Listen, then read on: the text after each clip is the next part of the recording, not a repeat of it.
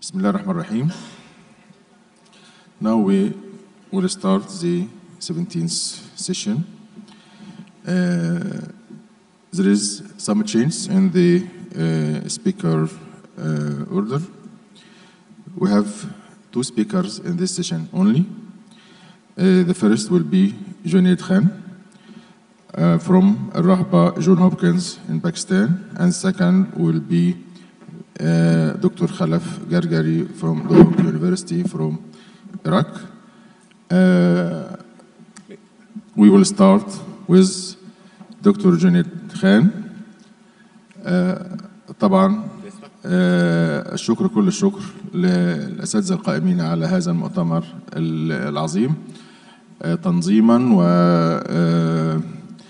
وترتيبا أستاذ دكتور وائل بحبح وأستاذ دكتور محمد زنون نقول لهم ألف مبروك هم وكل الاستاف اللي بيرتبوا لهذا اللقاء الدولي. Uh, th thank you very much, uh, the chairpersons, and uh, thank you very much, the organizing, especially Dr. Wael Bahbah and uh, Dr. Uh, Zunoon. Uh, I'll switch back to the surfactant delivery, the no novel approaches.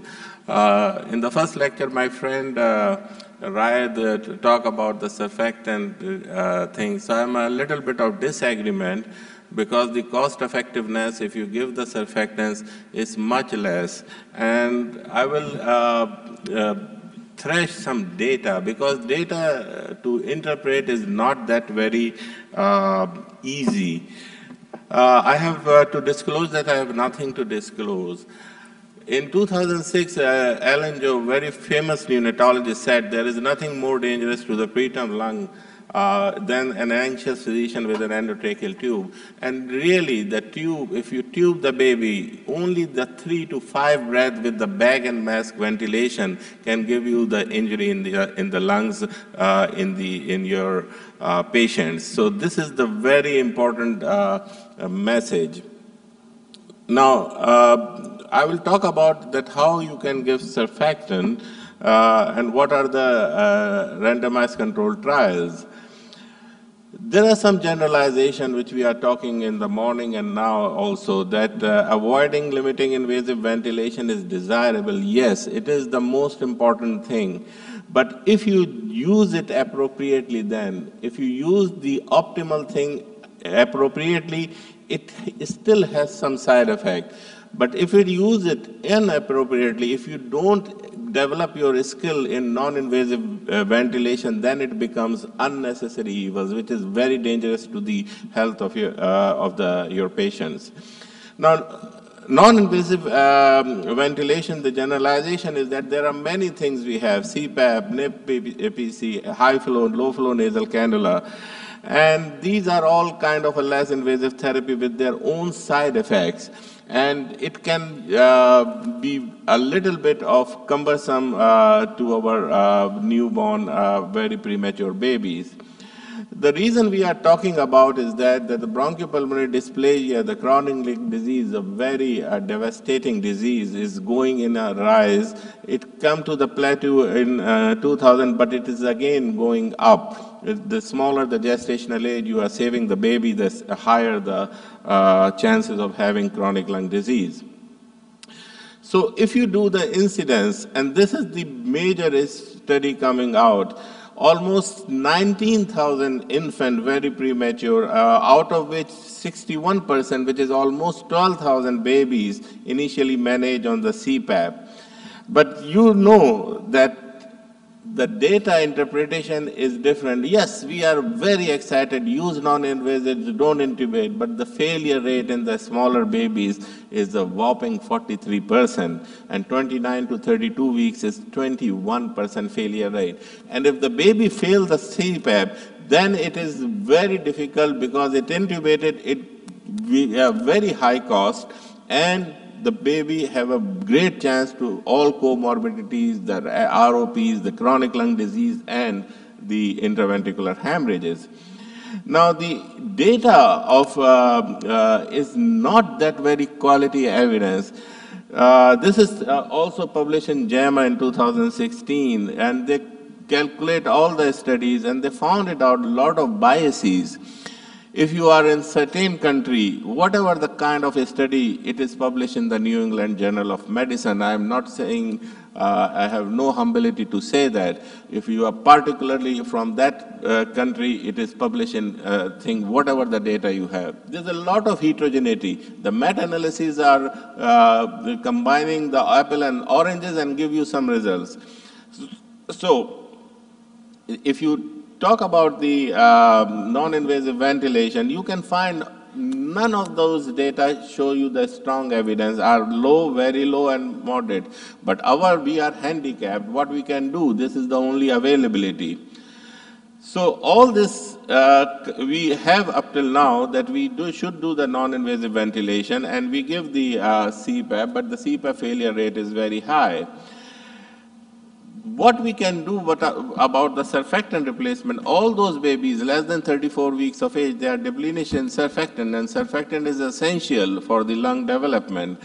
Uh, if you give early surfactant, then the chances of neonatal mortality, pneumothorax, PIE is decreased. The, there's no uh, difference in the BPD, but the combined uh, rate of BPD and death is decreased.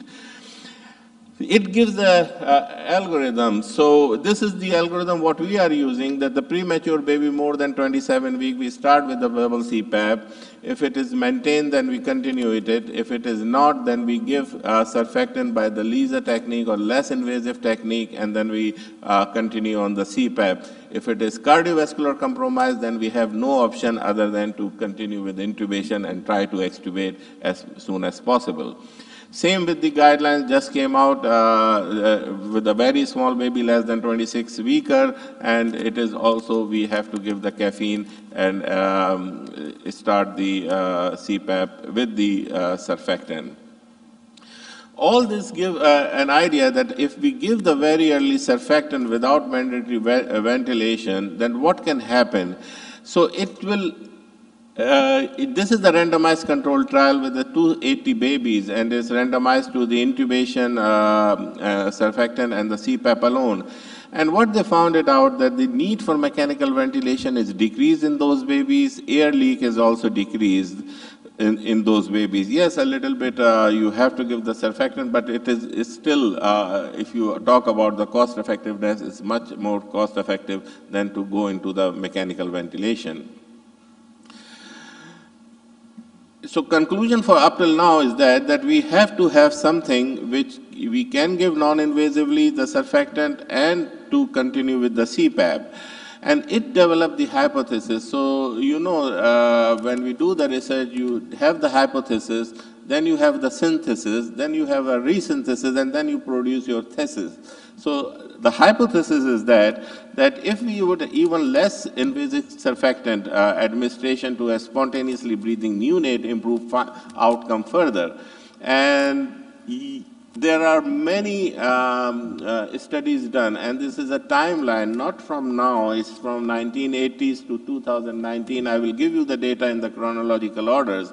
And there are four major uh, things they are looking into it pharyngeal administration of surfactant, uh, aerosolized, LMA guided, and the thin catheter. We'll go through the uh, one by one. The in uh, first of all, the if you give the surfactant in the uh, uh pharynx. So this is a randomized control trial in 328 preterm infant in 1987, where the babies are not that young uh, um, or not that less viable age is uh, surviving. So 25 to 29 week gestation at 1987 is a real big task. So as you can see that uh, they give the uh, surfactant or artificial lung expanding compound because the real surfactant was not available at that time. And what they found it out that the neonatal mortality is decreased, uh, the uh, hemorrhage, parenchymal brain hemorrhage is decreased, and the severe RDS is also uh, decreased in those babies. Another one uh, is the technique that before delivering the baby at the intrapartum, you give the surfactant, give two puffs uh, with the continue with the uh, the CPAP, and this is also small babies from 560 gram to 1840. What they found it out that this procedure is uh, relatively safe and simple, and they decrease the need of intubation. So since 1987, we are thinking of that, and this is uh, the published by the Dr. Kattwinkel in 2004. So these are the all studies. If you are interested, you can go through it. The second thing which we are looking into it is the LMA. LMA is the laryngeal mask airway, which is very easy to uh, introduce, and you don't need to have a lot of skills uh, uh, for that. The LMA didn't get that much attention because of the many reasons. The reason is that the, the feasible trials are um, small, is only eight infant, but whatever the trials we have, it shows some improvement in the AAPO2, which is the post uh, um, uh, surfactant in the red and the pre-surfactant in the uh, pink one, uh, which is uh, after the LMA introduction. Uh, there is another trial in 2013, which is again a small trial, 26 um, uh, infant, and they couldn't find any difference if you give uh, through the LMA, this thing. So these are the lot of studies, and uh, the, the, one study is still going on, uh, published maybe 2020 or by the end of this year. Aerosolized surfactant, if this come and if, if this is approved, then it is be very, very uh, revolutionized. This is the surfactant uh, which is given by the nebulizers. And initial studies which I'm showing is a, uh, showed a very good result. So 20 preterm infant, uh, this is not that, uh, as I'm telling you, I'm going in a chronological order. 1997, it showed that it uh, decreased the alveolar oxygen gradient. It decreased the Silverman score. This is the Silverman score, which is the uh, higher the score, the sicker the baby, the lower the score is uh, better for it. So it decreased the Silverman score and it maintained the PaCO2. So it is about in 1997. Now, if you move on to 2000, again it's a small study, but it showed no effect. So this is the difference. This is the way you do the studies and you get the results. Then uh, this is the open, sorry about that, it's a open label studies which is in uh, 2010. They randomized uh, into two uh, groups which is three retreatment or uh, by at least three hours apart or at least one hour apart. And they found a good result that you decrease the oxygen requirement. Oxygen is the very harmful for those babies uh, less than 34 weeks of age. So you decrease the oxygen from 40% um, baseline to 32 and uh, later on you don't need to be intubated. Again, it is a um, very nice study done in 2013 which is called CureNeb studies, smaller babies 29 to 33 weeks of age and the primary outcome they are looking for need for intubation. They found it out in this uh, uh, graph that uh, the solid line, which is the black line, is the probability to get the intubated of those babies are very, very low as compared to the dashed line, which is the probability of intubation only with the CPAP is higher. So I'm telling you is a very subtle things which can improve your baby um, a lot. Again, uh, this is a very recent July 2018 and uh, it is going to be republished because it is not published uh, again. So it's July 2019 again that early postnatal nebulized surfactant may reduce the need for intubation in the first three days of the life. Uh, there are many studies and many studies shows in the favor of it. Uh, again, the two studies are ongoing and these are the major studies. After that, it is, will be available in the market and it can be revolutionize the uh, care of uh, newborn babies. Now, the last thing which we are using is the MIST technique or the LISA or less invasive surfactant administration. We put the feeding tube or any catheter like a, uh, um, UAC uh, uh, and give the surfactant uh, through that into the larynx. The first study was in 2010 in, uh, by the, uh, Dr. Angela Kribs, and she uh, performed a huge study, observational study. The babies on the CPAP, no sedation, no analgesia required. They put the NG tube and they give the surfactant through it. And what they found it out, the mechanical ventilation first uh, 72 hours is decreased, BPD uh, decreased slightly, death and BPD decreased slightly, and oxygen at the time of discharge decreased significantly. So it is a very um, handsome and very strong evidence uh, in favor of that. Then there is a trial called avoidance of uh, mechanical ventilation or AVM trial, huge trial, 220 infant, and all are less than 1500. So really are very small babies, randomized to surfactant uh, via the uh, ET catheter and primary outcome the same, the mechanical ventilation or uh, retention of the PCO2.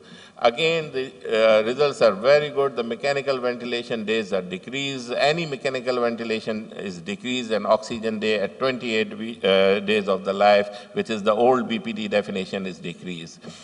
Uh, the, another study uh, by Dockwell in 2012 with 61 units also uh, present the similar kind of a data with the ET catheter.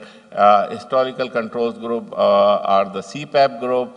And what they found it out, the mechanical ventilation, the oxygen days is decreased in those babies. But in this study, they have to treat the PDA, uh, and the, the treatment for the PDA is high. So this is one of the uh, caveat in this uh, study. Take care study is uh, 200 uh, infant with the less than 32 weeks is randomized to surfactant via five French catheters, which we are using, and primary outcome need for mechanical ventilation. Again, the result showing a lot uh, improvement that the decreased need of intermittent uh, mandatory ventilation, decreased rate of CPAP failure, and decreased rate of uh, bronchopulmonary uh, dysplasia. So all these, uh, all these effect and the data are uh, showing that if you do not to go into a very high-fi techniques or the ventilation or the high frequency, you will be uh, very well uh, doing uh, with the patients of very young age, gestational age. Uh, NINSAPP studies 2011 uh, um, babies, uh, 2015, and it shows the data that intubated is decreased. Survival with BPD is the same, but survival with no adverse uh, effect is uh, more is statistically significant. Also, the pneumothorax is much decreased in those babies. Severe IVH with very uh, uh, bad comorbidity is also uh, decreased.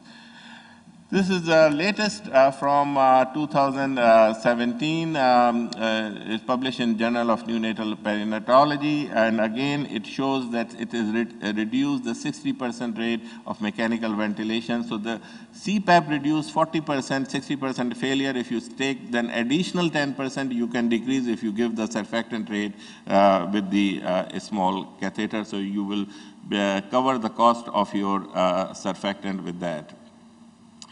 2018 data shows a similar, the LISA technique reduced the composite outcome of death or the BPD at 36 weeks is equal to is a 75% uh, decrease in the rate.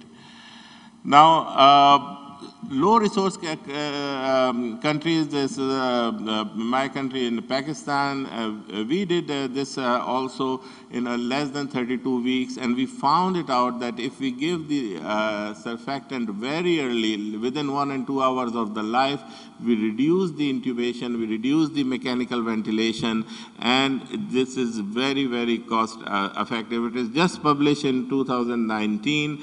Uh, you can go through it. Uh, it's a very uh, uh, great work in the low resources country. Uh, this is very important. I want to show you in 2016. This is a very different kind of a study. Of course, what they did, they took the seven studies, seven strategies, sorry, uh, including CPAP alone, CPAP plus surfactant, which is insured, then LISA, then NIPPV, nebulized surfactant, surfactant given by laryngeal mask, and mechanical ventilation. And they combined 30 trials. It is in Japan, they did it and about 6,000 infants, and the primary outcome was a death or BPD. And what they want to know that what is the highest rank of this strategy to get a very good outcome. So ranking probability strategies, if the young uh, physicians are sitting, must see this uh, kind of a data. You can critically uh, appraise this, and this is a very important study because ranking probability strategies studies are very, very rare. What they found it out, death or the chronic lung disease, the LISA is the one, uh, number one, which is 94% chance you have a success. And if you uh, get the bronchopulmonary dysplasia alone, again, it is, uh, Lisa is ranked as a number one, which is 89% uh, chance that you get, get uh, success with this uh, technique. So these are the all studies and uh, one is going on still. Uh, this is available and we have to know. So in the last uh, two minutes, three minutes, I must say that whatever you are doing, you should develop your skills. Even with the LISA technique is uh, not very, very um, uh, uh, free of uh, cumbersome. You have to develop how to do where the very soft catheter to uh, put it into the trachea. And these are the things that you have to select the babies, which uh, babies you are going to do that. To summarize that, uh, the CPAP uh, with the surfactant is a very good uh, option. It is maybe beneficial. Its reduction of the neonatal complications seems possible. Uh, these are the evidence. The, if you, the babies is less than 26 weeks, you can tolerate up to 30% oxygen. After that, you have to give uh, surfactant through LISA technique. If it is more than 26 weeks, you can tolerate up to 40%. And if the baby is not doing well, then you have to uh, do the LISA technique. Again, LISA or the MIST can be alternative, not to intubate the baby, and it is alternative. A second and sometimes third dose of the surfactant is needed, and uh, it depends that how you uh, maintain the baby on the CPAP. Uh, last but not the least, uh, what we are doing in our unit, both in uh, John Hopkins in Maryland and uh, in Abu Dhabi, all premature, anticipated premature babies get, the mother get the antenatal steroids. If, if it is more than 27 week, we start with the CPAP, tolerate about 30% oxygen and titrate. If not, uh, we intubate, give the surfactant, try to extubate as soon as possible. If less than 27 week, we stabilize the baby on CPAP, bring the baby to our uh, NIC unit, and then we will see, uh, uh, we give the surfactant by the LISA. Saturation we maintain uh, less than 1500 gram or 32 weeks about 90 to 96 percent. Hemodynamic stability, we use non-invasive minimum handling uh, uh, for that. Head in the midline position for 72 hours. This is because of the prevention of IVH. Golden hour, we are religiously follow that, and we have to finish everything and stabilize this baby in the first hour of the life cranial ultrasound. We have the new technology called uh, NIRS, which is near infrared spectroscopy. It measures your brain and the tissue oxygenation, which give you an idea that how you are doing it. Nutrition is very important. We start the nutrition right away, uh, uh, whatever the baby is sick or uh, not, the uh, starter TPN. We start the feeding one to two days, okay? If we if we have the breast milk, we start right away day one. If we don't, we usually use uh, wait only up till 24 to 48 hours. We remove the UAC, UVC less than seven days and place PICC line if needed. Minimum handling and the uh, kangaroo care, which is the uh, good for that. So in the end, I must emphasize on the data that please do not put your faith in what statistics say until you have carefully what they don't say to you. So be careful when you uh, um, uh, evaluate the data. And why I am saying that? Because absence of evidence is not the evidence of the absence. Thanks a lot.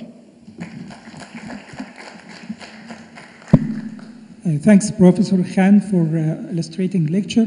And the floor is now open for uh, discussion questions?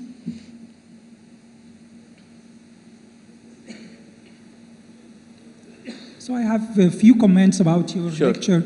Uh, now, uh, there are, I think, two promising techniques for less invasive surfactant administration. One is aerosolization and nebulization, but this will uh, lead to much costs because you have to do use a large dose of surfactant and you have to use a special type of nebulizer, which is not available anywhere. Uh, the second is the LISA technique, and there is now a shift from INSURE technique to LISA technique, and most units in Europe and uh, North America, they start using the LISA technique. The problem is that not all LISA are the same, yeah. and uh, many units have differences in the type of catheter you use, whether you use a vascular catheter or feeding tube or umbilical catheter. Uh, also, the difference in uh, the selection of babies Sure. for the use of uh, surfactant. Some units start prophylactic surfactant for babies less than 25 weeks. Uh, others, or most of the others, use uh, early rescue surfactant uh, according to oxygenation, and other units consider other factors rather than oxygenation in the selection Exactly. of the patient. So, so the thing is that, uh, that's why I said that we have to develop according to our unit. We cannot standardize on this thing. Uh, What is the population of your uh, unit? What is their uh, viability age? Uh, Somewhere, uh, we we are actually uh, going up to 23 weeks, okay? But not all the unit can go up to 23 weeks. So this is the, the very important, is the selection of the babies. And selection of the surfactant, uh, there is some data that uh, Curosurf is a little bit better than uh, other uh, surfactant, but uh, I don't have any strong evidence for that. The technique is the one which you develop. So for example, in our unit, both in Maryland and Abu Dhabi, that our specialists, the fellows and the resident, they develop the technique with the um, feeding tube. And there, we are using the five French uh, catheter. Uh, we just put it in and they all uh, are able to do it uh, very easily.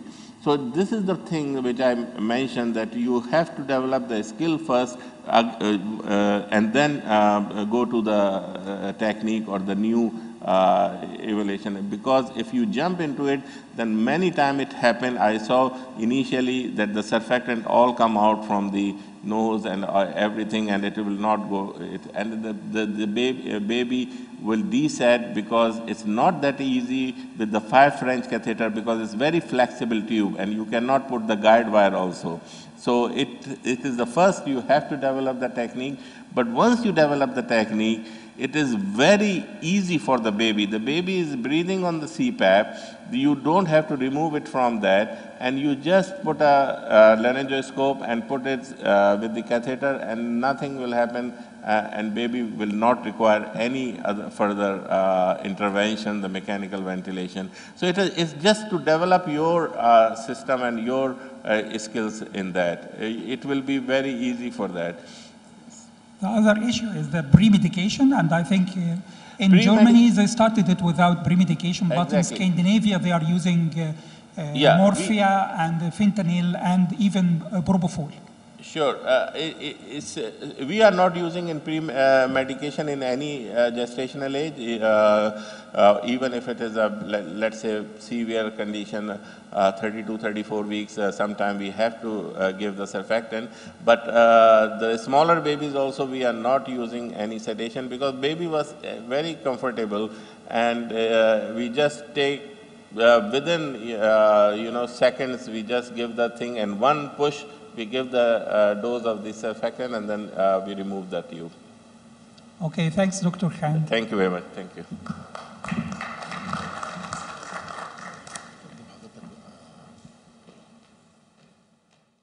Now I have the pleasure to introduce Professor Khalaf to talk about gut health early life, role of gut microbiota.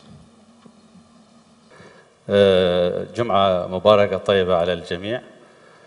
فيرست اوف اول أو راح أحكي بالعربي لأنه اور فورين جيست ار نوت هير أود أن أقدم شكري الجزيل للأخوة الأساتذة دكتور وائل بحبح والدكتور محمد زنون for their uh, preparation for this event and inviting me. والشكر موصول لأعضاء اللجنه uh, المنظمة وللاساتذه uh, رؤساء الجلسة. والشكر موصول الشركة المنظمة الاي سي سي لما لقيناه من الترحيب بهم. Uh, if uh, chairperson they allow me, I want to move just in, to be in the middle. Uh, I'm going to talk about uh, gut microbiota. You know, we started with dealing with prematures, Dr. Wright, and then Dr. Fawaz talking about bowel and inflammatory, and then those small babies with the size of the of the um, of with the size of the fist. I hope I'm, I'm going to give something which is uh, different with a different test, and I hope it will be pala- palatable by, by the chairpersons and by the uh, audience. Um, first of all, before uh, uh, saying anything, I have no conflict of, of interest in my presentation. Uh, the second point, I want to, to talk about my city. I am from Iraq. Duhok is uh, at the north of Iraq, uh, just near the border of uh, Turkey and Syrian border, very close to it. It is about 400 kilometers drive from Baghdad. The second point, I have just to, to show you those very nice picture. I don't know if you have heard about my city. Uh, it is one of the best and the safest city, uh, I guess, in the world. Um, I'm going to talk about, to ask a question, uh, which percentage of, of my talk are you going to, to remember or recall after 24 hours? Some may say that it will be up to 90%, coming 75, go- down to 50, down to 10, down to 5%. And we depend on a, uh learning triangle actually. We have the, the, the, the, the passive and we have the active one. If someone is going just to listen to this talk, he's going to remember like uh, 5%. If he is going to uh, practice by doing this, he's going to uh, re- recall that 75%. But if he's going to teach others, he, he or she will, will recall more than 90% of this uh, talk. The other point I'm going to, to, to raise here, before going to the role of gut microbiota in the health and well-being, what is the role of us as a pediatrician in the community? The, at the top of our priorities is the support of the breastfeeding. And you all know the World Health Assembly and also the baby-friendly hospitals. You know, long years uh, ago, we should teach all the mothers, even before the, the conception and during gestation, and after that, the successful, uh, the, the method of successful uh, breastfeeding. Going back to my uh, talk, I'm going to talk shortly about how the gut microbiota, the residents of uh, our gut, affect our health and immunity and well-being. Now, I mean in the early life and later on uh, as an uh, adults. And actually, this is a very hot topic. uh, A new topic, and it is an area for research to invest in it because it has a great uh, outcome. And I think in the previous sessions, many of the colleagues they comment, they give some hints about the role of gut microbiota and microbiome in the uh, life. So actually the gut microbiota is an, an, a a diverse ecosystem. We, we have more than 100 trillion of bacteria residing our gut. And it, it constitutes like 2 kg of our body weight. And there are more than 1,000 different bacterial species in our gut. And those bacteria, I mean, uh, the bacterial cells, they, they constitute 90% of the cells in the body of the human ear are bacteria, while only 10% are human cells. And those rep- represent like one, more than 1 million gene representing them, while the human genome, our genome is only 23 uh, 23,000 uh, uh, genes, vast uh, difference.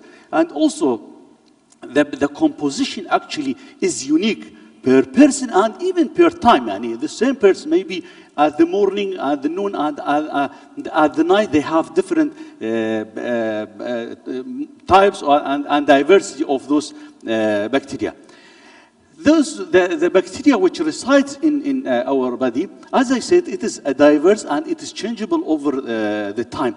But it is also affected by the environment, like pH of the stomach, and also by the molecules and the nutrient available uh, for them. But as we go further in the, in the gut, the, the concentration and the diversity will be much more. When you reach the colon, we have like 10 power 11 to 10 power uh, 12 colony forming unit per uh, and this is a, a big number actually. The, the factors which affect the composition and the diversity of the gut's microbiota, actually, there are multiple uh, factors, but it is not only one of them. The diet which we take, our lifestyle, our hygiene, our environment, the stressful conditions, and, we, and as we are going to see, uh, all stressful conditions, it will affect in a way or another the, the composition, the environmental factors, and I will concentrate on the use of antibiotics. And actually, in my area, this is one of the big problems. Anyone has, is authorized to give antibiotics and to sell antibiotics, and this is a big issue and a major issue, really, and it is a threat to our, uh, our globe. It is an ecological threat to our uh, globe. Uh, the gut microbiota, it, you know, we have the three function of, of the gut. We have the absorption and the digestion, we have the immune function, and we have the gut-brain crosstalk. The gut microbiota, it interplay, interplay with the, all the three function of the gut, and uh, uh, as you will see in the uh, following slides.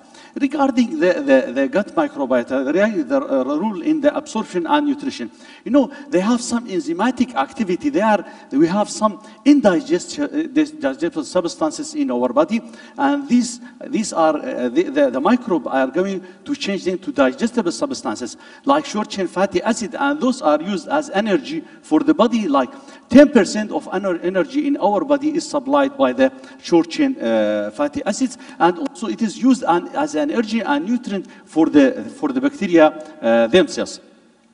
Phytic acid in the grains, releasing mineral, minerals, uh, vitamin B12, folic acid, vi- uh, vitamin uh, uh, K are also and also the bile metabolism. One of the important things is the recycling in the bile metabolism. It is uh, in, in uh, a direct and indirect way is affected by the uh, gut uh, microbiota. Passing to the dysbiosis, when we have an imbalance between uh, the, the beneficial versus the, uh, the, the normal commensal in, the, in the diet. This will impact the health in, in many ways. There will be a disorder, um, disrupted metabolic uh, pathway, and this will lead uh, to, to, to, uh, to obesity, to insulin resi- resistance, uh, non, non, non-alcoholic fatty liver disease is, is, is common in those with this uh, biosis and the metabolic syndrome as we all know. So when, when there is dysbiosis, what will happen? There will be the adaptation, there will, there will be more food availability for that and more energy. And this, in turn, is going to lead to the metabolic effect, including obesity, metabolic uh, uh, syndrome, and uh, non alcoholic fatty uh, liver uh, changes. Regarding the immune function, there, uh, uh, it interplay with the direct, direct uh, uh, defense against the microbes, also interaction and crosstalk, the immunity and the microbes. There is interplay. The immunity will affect the microbe, and the mi- microbiota is going to inf- uh, affect the immunity, and also the development of the innate immune system early in, in life is very depend- dependable. And they found that recently, very recently, they found that babies who are product of normal vaginal delivery because they are exposed to the uh, uh, uh, microbiota at the genital area, they have better diversity and they have better outcome uh, than those who were prone uh, by cesarean deliveries because they are not exposed to these uh, factors. Regarding the, uh, the, the, the direct, uh, uh, the direct effect of uh, the, uh, of, uh, of the microbiota uh, on, the, on, the, uh, on the immune system, there is, uh, there is production of bacteriocin which is very effective. And also, yeah, th- there is a competition there is a competition between the, uh, uh, for the, for the, with the uh, uh, pathogenic bacteria. They compete, they compete with the pathogenic bacteria and they, uh, they take the energy. And also sometimes they, they block, they block the, uh, the, the, the, the receptor for those uh, bacteria in, in, in a way or uh, another. Also, they stimulate the immune uh, system by producing the secretory IgA for those uh, patients. They affect the gut motility and enhancing the, uh, the gut to get rid of this uh, pathogenic uh, bacteria and also the uh, um, influence the other immune, immune function. Um, the development of the immune system is very important in this. Yeah, the, the, those gut microbiota actually they, they regulate the development of the, of the, of the cells and uh, they establish uh, the intestinal barrier. The intestinal barrier is the first barrier, is the first barrier against the, uh, uh, any, any uh, pathogenic infection in the area. And also they, they produce some metabolites they uh, control the, the development and the activation of the immune system in a way or, or another. Development of the uh, uh, immune system, they signal the development of, of uh, the uh, T lymphocyte, uh, the, the lymphocyte, the B and the T lymphocyte subtype are signaled by the gut microbiota in a way or another, and also they establish the ratio of T, T helper 1 to T helper uh, 2, and they later on they will uh, make the body to have a tolerance or an allergy. Those with, with, uh, with diverse microbiota, they are going to have a tolerance rather than having uh, allergy to, uh, to different uh, substances. Uh, so, um, uh, in, in, in healthy environment, in healthy gut, and when there is normal gut microbiota, there, it will host the, the, the, the whole, give the defense against the uh, infection. It will enhance the tissue repair in a way uh, or another, and also uh, it will make a homeostatic balance in the uh, gut. While in, in, in, in, dysbiosis, there will be autoimmunity, forming ant- autoantibodies against the uh, body himself, and tissue sepsis uh, and damage will occur in those with uh, dysbiosis, and also it is a, a- leading for the development of, of diseases, and also there will be disruption of the hemost- hemostasis for those patients. In allergic disorder, the, the role of gut microbiota, and, and uh, if there is this, this biosis, the, you know, the, the maturation of gut microbiota, I mean the adaptive uh, uh, immunity, it requires a, a- an instant and constant uh, microbial uh, stimuli from the gut microbiota. So, there is a continuous crosstalk between the, the, the gut microbiota and the uh, immune system, whether uh, to develop tolerance or allergies. And, and uh, when someone has uh, normal gut mi- microbiota, healthy gut commensal, they are going to have tolerance if they are exposed to allergens. While those with less diversity, they are more prone to develop allergic disorders when they are exposed to the same allergen. Um, uh, the gut uh, brain crosstalk, this is also very uh, important uh, actually. And there is an axis, it is called gut brain axis. In a way or another, it is a, a, a bidirectional signaling between the brain and the, and the gut microbiota. the brain will influence uh, the, uh, the gut. And the microbiota will influence the, the, the, the mood, even the behavior. And sometimes, as, as we also, sometimes when we are exposed um, to some stressful con- condition, sometimes you feel as if you have some gaseous sensation. And this is, this is a real because there will be some uh, the, derangement and some uh, problem with the uh, growth of the normal gut microbiota leading to those. And in another way, sometimes so those with, with some mood disorder uh, or some, some with, with abnormal uh, gut microbiota or dysbiosis, they will have uh, a bad mood and even other uh, psychological and behavior disorder. So, the gut microbiota, uh, the, the healthy, the normal gut microbiota are important for the gut physiology also, and appropriate signaling uh, between the uh, gut and the uh, brain, and also the maintenance, maintenance of uh, overall uh, health. Uh, in intestinal uh, dysbiosis, there will be derangement in digestion, there will be derangement in absorption and in the immunity, and also alteration of the CNS function. They found that uh, very strangely, they found that there are some neuroactive substances which are secreted by those gut microbiota. And those neuroactive substances, they work just as, as a, a, a neurotransmitters. It's very strange, and sometimes they even they call the gut, sometimes they call it the enteric immune system because it is very complex like that. So those neuroactive substances which are secreted by those normal gut commensal, they give a better mood if, if there is no dysbiosis. While in those with dysbiosis, they will have some uh, uh, impairment of their mood and their, their action. So uh, uh, the impact of the gut it is some, sort of interplay. The behavior, the brain development, and the microbial uh, colonization. Each one will affect the other in a way uh, or another. If someone has a CNS dys- dysfunction, they are going to have disrupted uh, gut colonization and uh, uh, and there is a direct uh, uh, signaling between both of them. Um, leading, if you have, if, if someone have um, disrupted or uh, gut microbiota or dysbiosis, it will affect in another, um, affecting the, the behavior, affecting the mood uh, and uh, psychological status, and even anxiety and uh, depression are related in a way or another to uh, gut uh, microbiota. In allergic disorder, and this is, this is uh, very well documented, and as I said, it is a hot topic for, for uh, researchers. Uh, infant and young children with allergies, they found they harbor a different gut microbiota than non-allergic uh, children. And in Western countries, actually, uh, when the hygiene improved, when the hygiene improved, when there is no ex- exposure to diverse uh, microbiota, they found that as incidence of allergy now in developed countries and in Western countries is much higher than in developing countries because kids in younger age group, they are exposed to uh, diverse uh, microorganisms.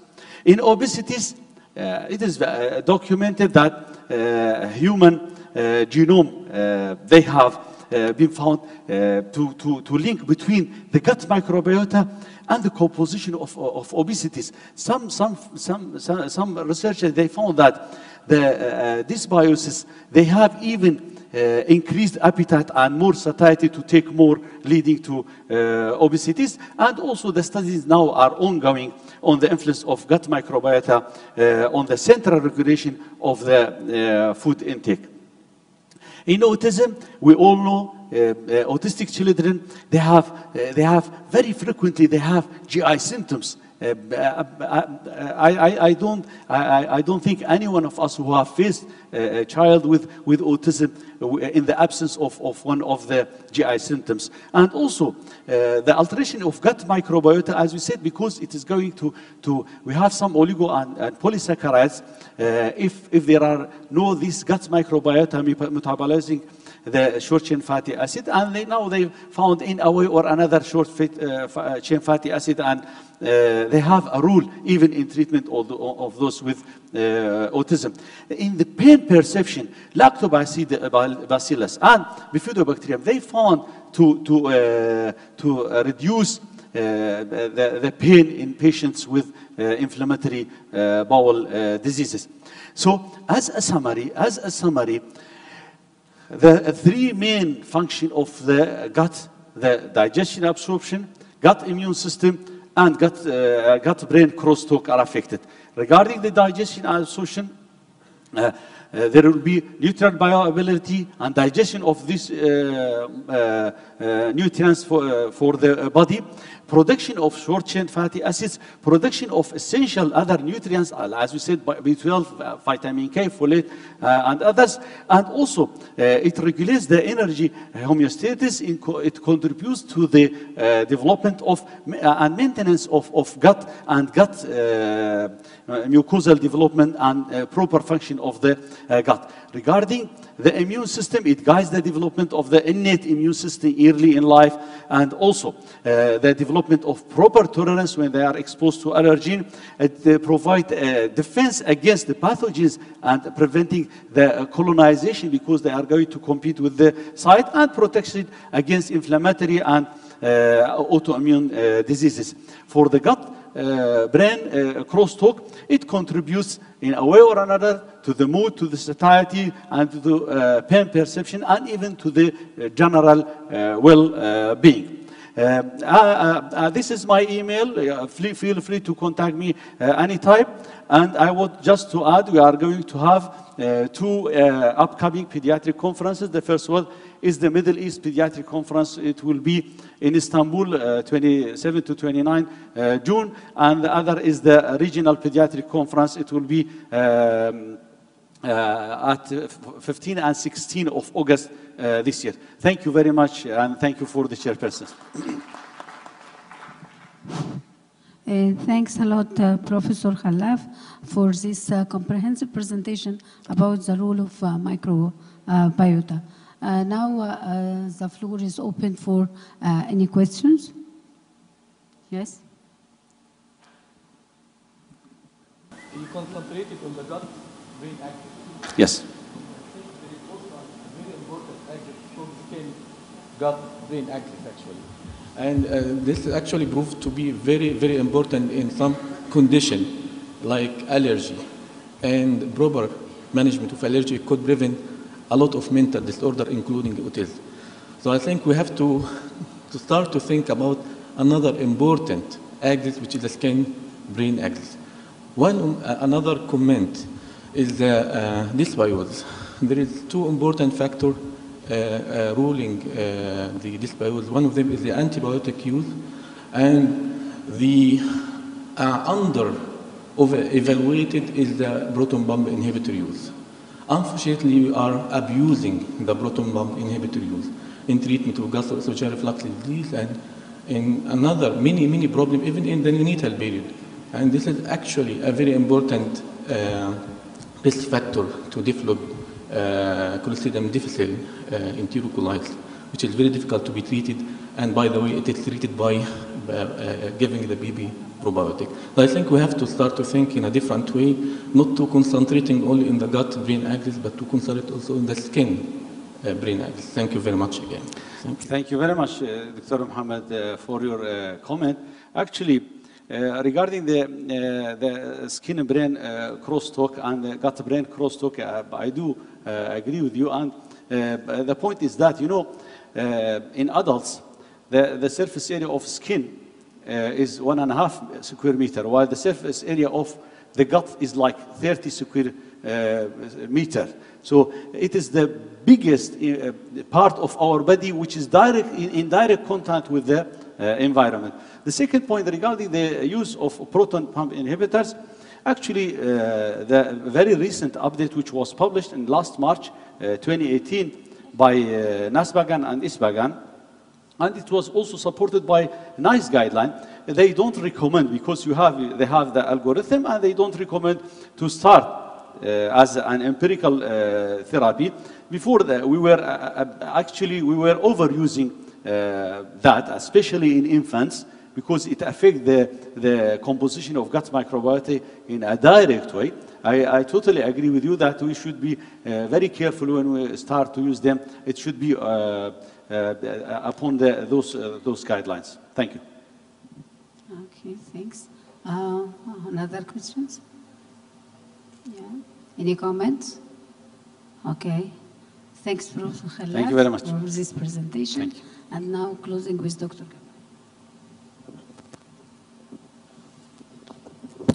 Uh, I thank again uh, Dr. Khalaf and Dr. Junaid for their um, comprehensive talks actually. And I think this is the end of uh, this session. The session comes to an end and thank you very much.